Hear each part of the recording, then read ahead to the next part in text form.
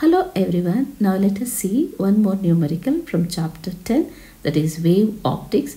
This is question number 50 of 28th January 2025 morning shift of JEE. The question goes like this. A double slit interference experiment performed with a light of wavelength 600 nanometers forms an interference fringe pattern on a screen with a 10th bright fringe having its center at a distance of 10 mm from the central maximum.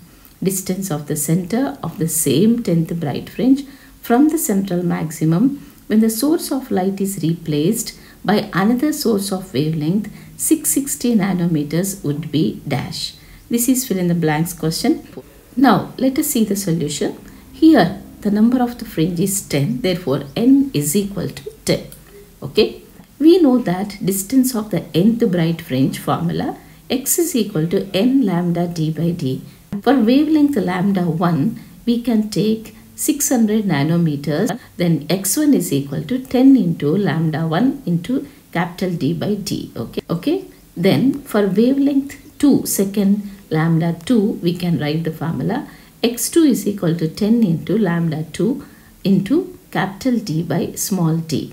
Therefore, divide one equation with the other one. x1 by x2 I have taken that is this equation divided by this equation. x1 by x2 I have taken 10 lambda 1 d by d divided by 10 lambda 2 d by d.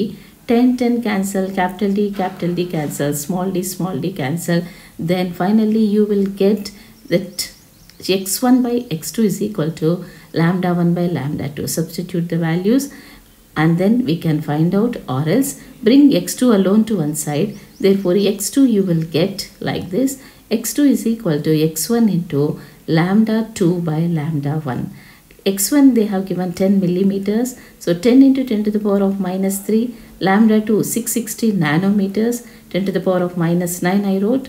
And lambda 1 600 nanometers. 600 into 10 to the power of minus 9 and here we can cancel out 10 to the power of minus 9 and 1 0 here 1 0 here 1 0 here 1 0 here. 6 11s are 66 so 11 into 10 to the power of minus 3 or 11 millimeters. So in the gap where they have given like this here you need to write 11 millimeters. Okay if they have given meters, you have to write 11 into 10 to the power of minus 3.